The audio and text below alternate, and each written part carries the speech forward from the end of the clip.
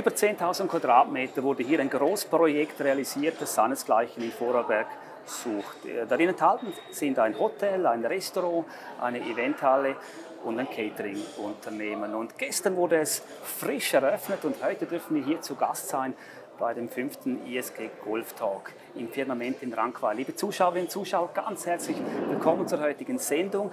Wir werden im zweiten Teil noch später auf die, äh, dieses Firmament und was da hier entsteht eingehen. Da werden wir ihn auch hier zu Gast haben, den Ideengeber, den Hausherr Ernst Seidel.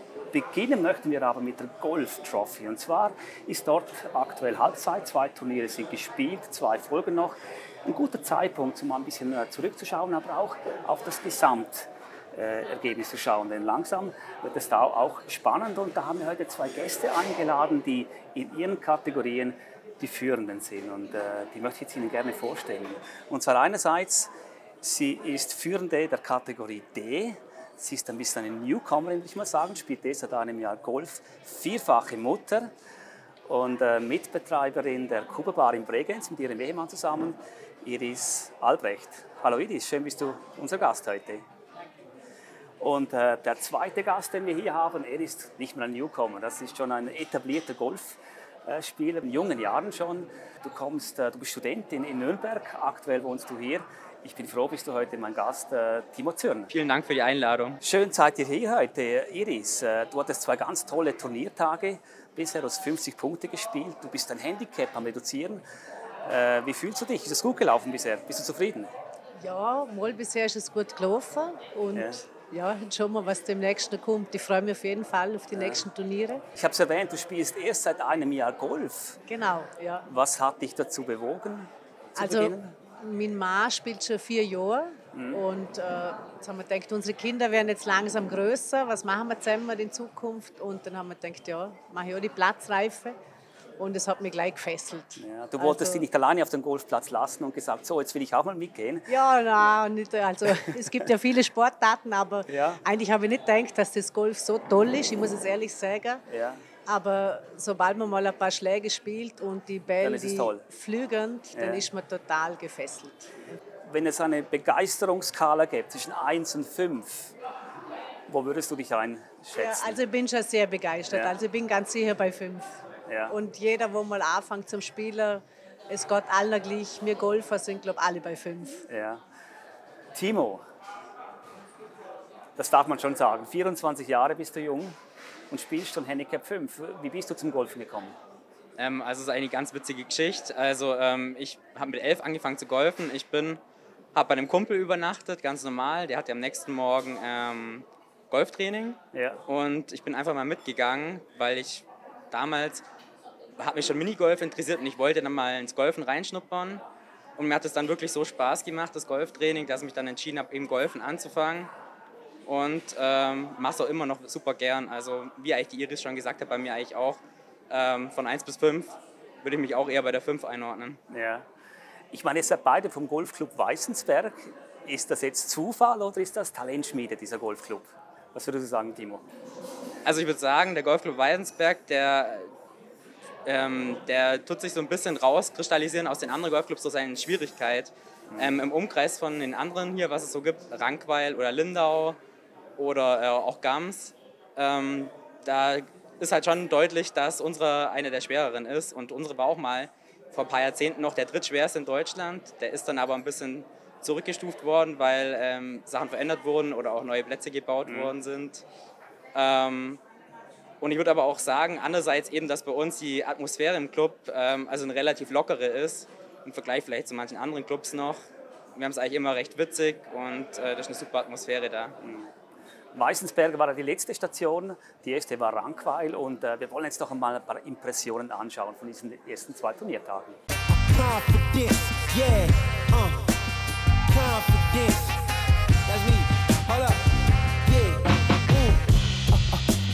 Sorry if I stutter, yeah. My brain move a little faster than others, yeah. I even keep a close eye on my brothers, cause sometimes it's your blood that turn into blood suckers, yeah.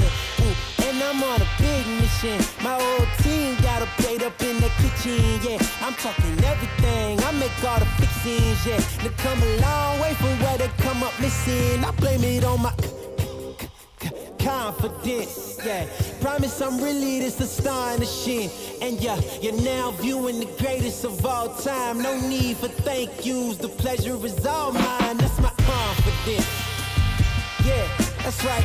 No downplaying my accomplishments. You call me arrogant, I take it as a compliment. I got that uh, uh, uh, confidence. Come on now.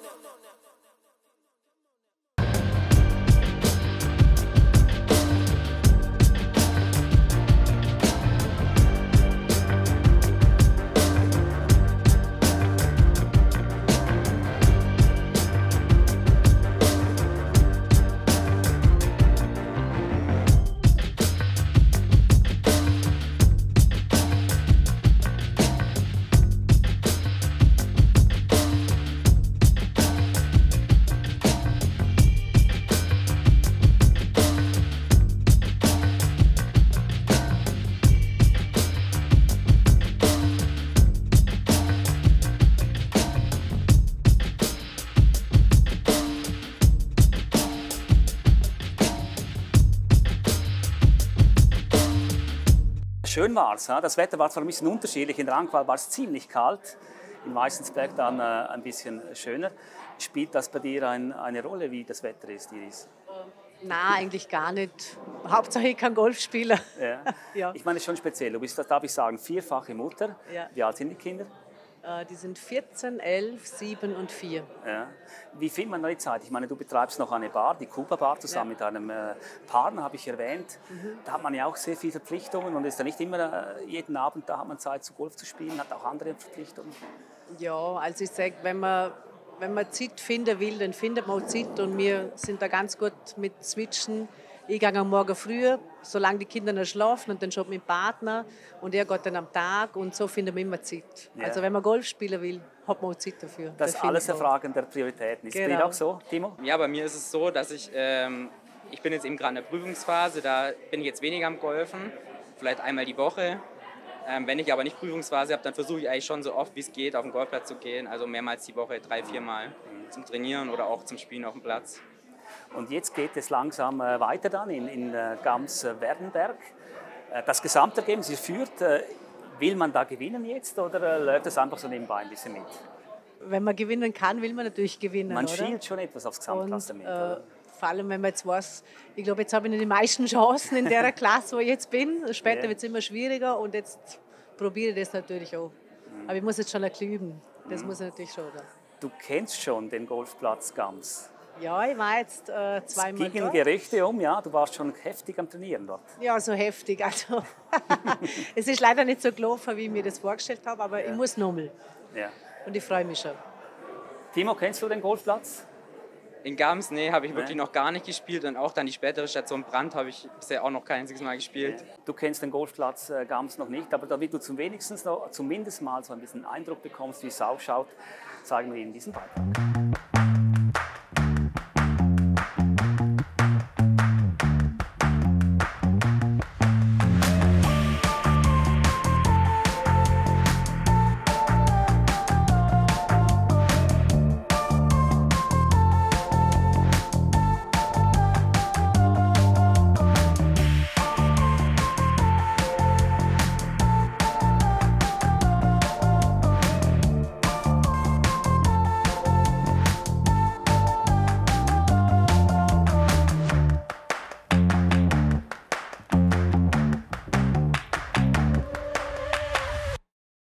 Ja, dann sehen wir euch wieder.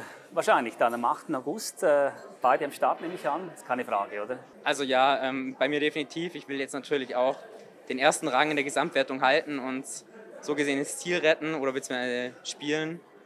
Und genau, in Gams äh, bin ich sicher dabei und denke mal auch im Brand im September. Sehr gut. Dann freue ich mich, dann sehen wir uns dort wieder. Bis dahin alles, alles Gute. Euch beiden äh, viel Spaß und dann bis bald. Macht's Danke. gut. Ja, und äh, wir sind bald zurück wieder. Dann haben wir einen spannenden Studiegast und dann sprechen wir ein bisschen da über dieses Phänomen.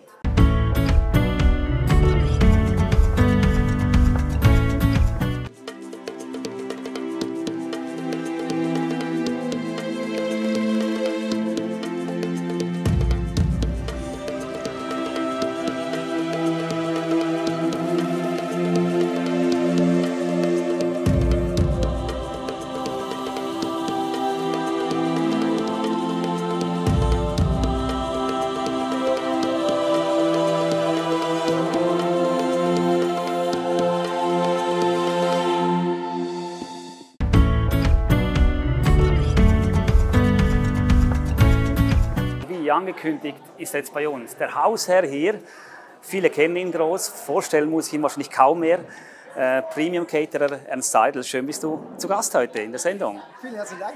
Nicht selbstverständlich, äh, natürlich, es ist der Eröffnungstag, es ist sehr viel los. Äh, wie läuft es bisher? Bist du zufrieden? Wir haben jetzt eineinhalb Jahre Bauzeit hinter uns. Ja. Äh, und heute ist endlich der große Tag. Das heißt, die ersten Gäste kommen zur Tür herein, fühlen sich wohl, lachen, trinken, essen. Ja, das ist ein gutes Gefühl. Haben eine gute Zeit ja. und, dementsprechend fühlt man sich als Gastgeber natürlich ja. Weltklasse. Weltklasse, ja. Ich meine, du hast schon zwei Kinder, oder?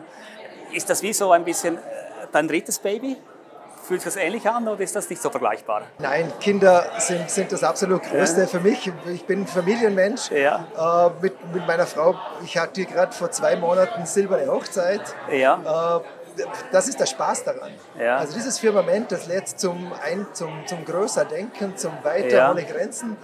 Äh, das ist wirklich ein Produkt, wo den Leuten Freude machen soll und wo uns weiterbringen soll. Wie ist die Idee eigentlich entstanden grundsätzlich? Das, äh, du kommst ja von einem anderen Gebiet, du bist der Caterer und das ist plötzlich so ein Firmament. Wie, wie ist das entstanden?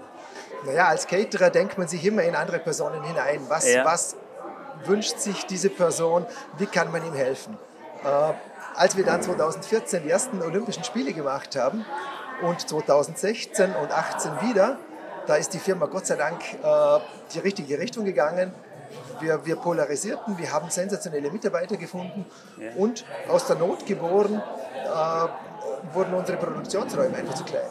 Deshalb also aus der Not geboren, im, im, du musstest neue Produktionsräume suchen und hast gedacht, Richtig. jetzt baue ich das Firmament. Genau, jetzt ja. machen wir doch gleich was Anständiges, was Schneidiges. Ja wenn wir schon eine, eine, neue Produktion bauen, dann stellen wir doch gleich eine Halle dazu, damit die Gäste auch zu uns kommen können. Ja. Zweiter Schritt war so, jetzt haben wir die Halle. Naja, da passt doch wunderbar ein Hotel dazu. Dann können die Leute gleich hier übernachten, die Gäste. Ja. Äh, und dann ist das Ganze geboren und innerhalb der letzten drei Jahre hat es natürlich einen irrsinnigen Feinschliff erfahren. Ja. Wir sind hier in Rankeweil, wir haben einen Autobahnvollanschluss, äh, wir haben 143 Zimmer, ein öffentliches Restaurant, wie gesagt, eine mega Eventhalle. Ja. Was sprichst du da für Kunden an? Sind das primär Firmenkunden oder äh, jede Art von Events? Definitiv, wir sind ein Businessprodukt. Ja. Äh, wir haben 143 wirklich schlank und, und toll eingerichtete Zimmer, aber äh, wir sind einfach im Mittelpunkt von Vorarlberg. Ja. Das bedeutet, wir sind auf der Suche nach den Firmen im, im süddeutschen Raum, mhm. den Firmen im Schweizer Raum. Die holen wir hierher für eine Vertriebstagung, für einen Kongress zum Beispiel. Es gibt ganz wenige Orte in dieser Umgebung, wo die Firmen wirklich mit ihren Mitarbeitern zu uns kommen können, wo sie äh, die, die Möglichkeit haben zu nächtigen, zu feiern und vor allem sich zu schulen und Teambildung zu betreiben, habe ich gelesen. Natürlich, Teambildung sind wir feiern, alles was mit Feiern und mit Teambildung zu tun haben, ist ja. unsere Leidenschaft. Ja. Und man kann auf den Acker gehen zusammen, habe ich gelesen. Ja, wir haben einen Acker, selbstverständlich. Wir haben einen alten Steyr-Traktor. 1957 und da draußen einen wunderbaren Gemüsegarten und einen Kräutergarten. Und da kann man gemeinsam so äh, den Acker äh, bearbeiten und da ein bisschen, genau. Das ist alles möglich. Ja, richtig. Aber natürlich vieles anderes auch selbstverständlich, oder? Ja, wir haben Ihr 80, habt ja Partner, 80 Partner genau, gelesen. Wir haben 80 ja? Kooperationen geschlossen. Ja. Das heißt, das sind kleine Nischenplayer im Bregenzer Wald oder in Selvretta Montafon. Wie gesagt, durch die zentrale Nähe hier mitten im Rheintal. In 16 Minuten stehen wir am Bodensee, in mhm. 20 Minuten im Montafon. Als Ausgangspunkt sind wir der ideale Ort. Firmament, das heißt Grenzenlosigkeit. Das heißt, äh, es hat keine Grenzen, Menschen verbinden sich, das liest man. Wie zeigt sich das hier? Wie soll man das spüren? Ja, wir haben einen Ort gebaut, wo, wo nach oben offen ist. Die ja. Halle hat 11 Meter Raumhöhe. Ja. Äh, wir haben die, die physischen Grenzen befinden sich nur im Kopf. Wenn man weiterdenkt, hier ist ein Ort, um sich zu vernetzen. Hier treffen sich Geschäftsleute, hier treffen sich Businessreisende. Am Wochenende sind die Urlaubsreisenden, die Golfreisenden selbstverständlich bei uns. Wir haben einen Familientisch. Äh, eingerichtet hier. Die Leute sollen kommunizieren, die sollen sie hierher kommen und eine gute Zeit gemeinsam haben. Ja, ich meine, äh, du denkst groß. Äh, du hast auch in der Zeit der Corona, die nicht so einfach war, äh, habe ich gelesen, du hast da die Leute weiter beschäftigt, du hast gesagt, die sollen sich weiterentwickeln. Ihr habt euch jeden Morgen getroffen da. Und ihr habt so eine Masterclass äh, entwickelt. Äh, erklär mal, wie, was ja. war das für ein Projekt? Also die Masterclass ist etwas... Äh, so speziell Absolut. Wir ja. haben durch unsere olympischen Einsätze haben wir Connections und, und Netzwerke auf der ganzen Welt geschlossen. Das heißt, wir haben Netzwerke mit Tourismusschulen in Sao Paulo, in Rio, in Tokio äh, und die schicken ihre Abgänger zu uns. Wir bilden diese Köche von, normalen, von einem normalen Koch zu einem Catering-Koch aus. Ja. Das heißt, die jungen Menschen aus der ganzen Welt sind drei Monate bei uns, sind zwei Monate genießen sie die Ausbildung hinten in unserer großen Catering-Küche und im letzten Monat ist diese Showküche in unserem Restaurant ihre große Bühne. Da ah, werden super. sie promoted, da, da spielen sie alle Stücke, die ihres Landes wert sind, was sie können. Super, ja. Und das ist auch in der Zeit von Corona entstanden, diese Idee. Ja, selbstverständlich. Ja. ja. Da hat man Zeit zu denken, da ja. hat man Zeit, sich hat neu zu fokussieren. Wo, ja. wo, wo, so, wo, geht die Reise hin? Wie kann ich der Region was, was Positives bieten? Du hast aber auch jeden Monat einen anderen Koch hier, habe ich gelesen. Ja, das sind genau diese Leute. Das sind diese Leute, gesagt, ja. Die haben zwei Monate Ausbildung und im dritten Monat sind sie der Star in dieser Showküche heute Abend äh, ja. ein, ein, junger Herr aus, aus, Peru, der kocht Ceviche und ein tolles Rindergericht. Die Vinothek, die ist natürlich auch hier, die gibt es natürlich auch. Äh, das gehört zu einem guten Restaurant, eine gute Vinothek. Und äh, ich konnte Oliver Bertsch, äh, den Geschäftsführer der Vinothek, heute kurz vor der Sendung interviewen und fragen, wie es denn ihm so geht. Es war ziemlich turbulent, es lief schon ziemlich viel, aber wir konnten ihn kurz fragen. Ja, jetzt ist er da, der Oliver Bertsch. Er ist der Weinchef hier in diesem Hause von Bewanda Weine. Das ist nicht der erste Shop von Bewanda. Äh, Bewanda ist äh, gegründet in Dombien. Wir haben in Dombien eine sehr große oder die größte Winothek Österreichs. Äh, vor sieben Jahren gestartet, aufgrund der Leidenschaft ganz was Neues gemacht. Die Philosophie ist bei uns, man kann einen Wein sich aussuchen, ja, aber wir zeigen gerne neue Sachen. Ich habe in Dormien selber 120, 130 Weine offen, wo jeder einen Wein verkosten kann. Und was ist hier so speziell? Ist das Konzept genau gleich hier äh, im Firmament? Äh, ähnlich. Wir sind ein bisschen kleiner, ein bisschen schmäler, somit nicht die ganze Auswahl, aber man kann auch gewisse Weine von Domin hierher bringen lassen, also dort sind wir flexibel. Aber es gibt auch mehrere Weine, jetzt Moment sind so 40 Weine offen, wo man ein bisschen probieren kann. Unsere Weine sind aber grundsätzlich ein bisschen andere Weine, wir importieren alle Weine selber und schauen ein bisschen auf die Stars in diesen Ländern. Das heißt, relativ unbekannt bei uns, aber in diesen Ländern sind sie Stars. Und solche Sachen versuchen wir zum Reinholen. Dann reist doch selber viel in diese Länder? Ich bin früher sehr viel gereist, 18 Jahre lang in der ganzen Welt äh, gereist und habe eben solche Sachen kennenlernen dürfen. Und das habe ich irgendwann zusammengeschrieben und zusammengetragen mit der Bewanderung. Und zusammen auch mit Spiritosen selber Schnaps brennen, also gelernt beim Vater. Die Affinität ist schon aus den Kinderschuhen, muss man fast sagen, so hergekommen. Von dieser großen äh, Erfahrung kann man hier profitieren.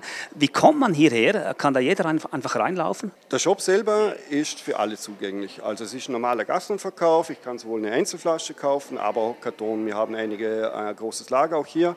Also man kann kartonweise kaufen, sehr gerne natürlich, oder äh, Spiritosen probieren. Jeder. Der Gast im Firmament oder im Restaurant, der kann auch die Weine auswählen, äh, kleines Servicegeld dazu und kann diese Weine direkt rausnehmen oder wir servieren das. Äh, beide Kühlschränke sind temperiert, der Weißwein ist auf 7 Grad und der Rotweinschrank ist auf 16 Grad, glaube ich. Ja. Alles ist hergerichtet, dann wünsche ich dir viel, viel Erfolg und nach wie vor einen sehr guten Start. Vielen Dank. Ja, Ernst, Wein ist auch wichtig. Es verbindet auch, ist auch Welt, äh, ein Produkt, das auf der ganzen Welt verteilt ist. Wie wichtig ist für dich Wein? Naja, ich bin halber Steirer. Ja. Das heißt, meine, meine Onkels und meine Familie haben Weingut in der Südsteiermark. Deshalb, ich bin nicht mit Wein aufgewachsen, selbstverständlich, sondern mit Muttermilch. Ja. Aber Wein ist, ist eines meiner, meiner Lieblingsthemen. Ja. Dementsprechend habe ich das natürlich auch hier ins, ins Restaurant mit reingepackt. Und auch coronamäßig bedingt wie mache ich das am besten, wie, mhm. wie kann ich den Kunden das, die meiste Satisfaction bieten. Mach das Ding gemeinsam mit einem absoluten Profi. Geh zum Weinhändler und frage ihn einfach, ob er kein Interesse hat, mitten bei dir im Restaurant eine Weinhandlung zu eröffnen. Mhm. Eine Weinhandlung mit einem physischen Sommelier, mit 400 äh, verschiedenen Weinen, voll auf Temperatur runtergekühlt, trinkfertig zum Genießen. Und das ist der Wein entstanden. Mhm. Sehr schön, ja. Aber du hast auch schon erwähnt, du bist auch Golfer. Ich habe vorhin zwei Golfspieler hier gehabt, ein Newcomer in Iris. Äh, Du, hast, du spielst auch erst seit kurzem, richtig? Ja, selbstverständlich. Ja. Wir, sind, wir sind ein Golfpartnerhotel. Ja. Deshalb war für mich natürlich wichtig, die Grundkenntnisse zu erlernen, damit ich weiß, um was es geht. Ja. Die Platzreife hast du? Platzreife habe ich. Ich habe mich in einem Jahr von Handicap 54 auf 52 runtergespielt. Ja, immerhin, ja. Ja, immerhin, oder? Ja. ich weiß nicht, ob es noch eine Stufe äh, tiefer geht, aber wir werden sehen. Die Golfer sind ja alle so richtig angefressen. Hat es dich auch schon gepackt? Das Golffieber? Ja. Ah, das Golffieber natürlich. Wenn man am Platz steht, dann, ja. dann, dann ist man natürlich mittendrin. Man will die kleine Kugel versenken, äh, wobei die Fähigkeiten natürlich im ersten Jahr dementsprechend beschränkt sind. Und du hast doch vieles anderes zu tun jetzt, oder? Mit der ganzen Vorbereitung und so. Ja. Golf ist absolut eine tolle Sache. Ja. Äh, man, man trifft nette Leute, ist an der frischen Luft, man bewegt sich. Ja. Äh, ich sehe das Ganze trotzdem nicht allzu ernst. Ja. Ja, Golf, äh, nicht nur die Spieler haben Halbzeit bei der Golf Trophy, selbstverständlich auch die Turnierdirektion. Und das ist der, der Günther Heberlin. Mit dem konnte ich vor der Sendung kurz äh, über sein Resümee über diesen zwei Turniere sprechen und vor allem, was noch kommt. Hallo Günther, schön bist du da heute. Ja, hallo Rita, servus. Zum ersten Mal im Firmament auch. Wie ja. gefällt es dir? Ja, ist super. Ganz eine tolle Location, was da der Ernst Seidel gemacht hat. Wirklich herrlich da, eine tolle Atmosphäre. Ganz schön. Die Golf Trophy, es ist Halbzeit. Die ersten beiden Turniere sind gespielt. Was ist dein Resümee? Ja, es ist ein ganz tolles Echo für die Teilnehmer, aber auch für unsere Sponsoren. Es hat eine irrsinnige Eigendynamik angenommen, eine volle Begeisterung auch bei Anna. Äh, bei denen möchte ich mich an dieser Stelle bedanken, weil ohne dir wäre das Turnier nicht möglich. Ist eine coole Geschichte und wir freuen uns schon auf die nächsten zwei Turniere. Es geht gleich weiter am 8. August in Gams-Werdenberg. So, was sind deine Erwartungen? Ja, Gams-Werdenberg wird ganz eine coole Geschichte. Wir haben mit ähm, Sonne in Mellau ganz tolle Tagespreise, sensationelle Geschichten. Und äh, insgesamt sind jetzt schon über 100 Teilnehmer angemeldet. Es sind also nur noch wenige Restplätze. Ja, wird eine super Sache. Da muss man sich beeilen, aber kann man sich überhaupt noch anmelden? Ja, auf alle Fälle. Also beim Golfclub Gams-Werdenberg sind wir jetzt ausgebucht, aber es gibt auf unserer Homepage unter anmeldung.isgsport.com noch die Möglichkeit, sich für das Turnier anzumelden. Das Golfstudio, Günther, das nimmt langsam auch Fahrt auf. Wie steht es da? Ja, wir haben in Götzis äh, jetzt mit den Bau Bauarbeiten begonnen.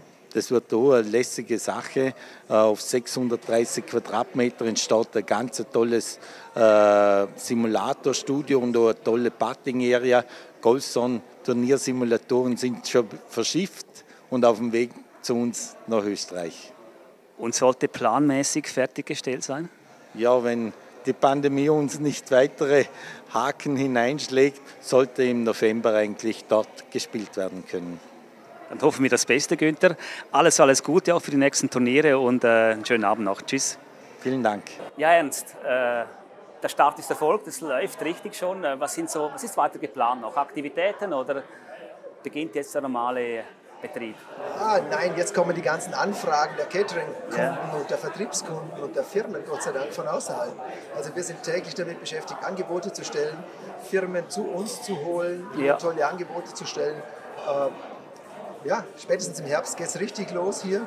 Ja. Die Zimmer werden gut gebucht, die Halle ist gut gefüllt. Ja, wir werden unser Bestes geben, um glückliche Menschen hier raus spazieren zu lassen. Ja, das spürt man auch richtig gehen, ja, das ist gut. Wir sehen uns spätestens am 13. November wieder, da ist die Schlussveranstaltung der ISG Golf Trophy. Ja, liebe Zuschauerinnen und Zuschauer, die genau hingehört haben. Wir sind nicht zufällig hier. Ja, und hier sind wir in der Event Hall des Firmamentes. Da findet eben diese Abschlussgala statt dieses Jahr mit Mario Pecoraro, großer Tombola und vieles mehr. Sei dabei. Ja, Ernst, dann wünsche ich dir alles, alles Gute, weiterhin viel Glück und dann äh, sehen wir uns bald. Reto, vielen herzlichen Dank.